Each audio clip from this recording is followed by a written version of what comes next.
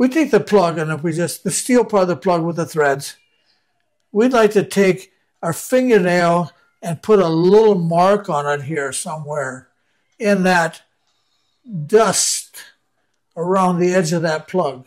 Yeah.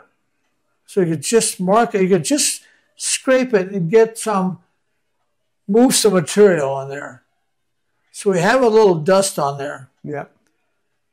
The electrode, if it's the electrode on the top, if it turns blue, it's way too hot. Okay. I It's ready know- to melt. It's going to melt that wire right off there. Okay. And the white part, we want that gray. We don't want it white.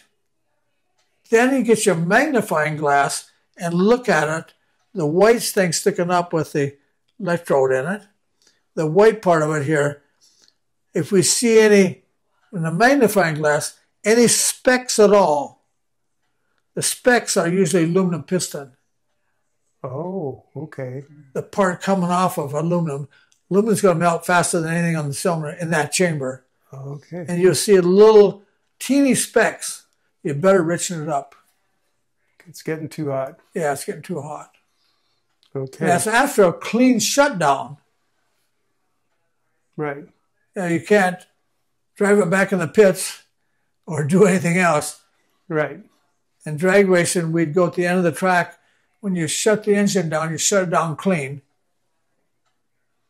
and pull it to the side, take the plugs out right there. I'll take them all out. Really? Yeah, don't take one out. Expect to make the whole motor run better. Okay. So when you're racing and you're you're saying you're shutting the motor off clean, Clean. describe what that means. That means just going wide open, push the clutch in, turn the motor off. Okay. So the last thing the motor did was wide Yeah, open. don't wind it down or back down a thing or or, cool do down or right. cool down and shut it off like a dragster. It goes to the end of the track and just shut the thing off. Coast over the side, you know, and change all, read all the plugs right there, every last one of them.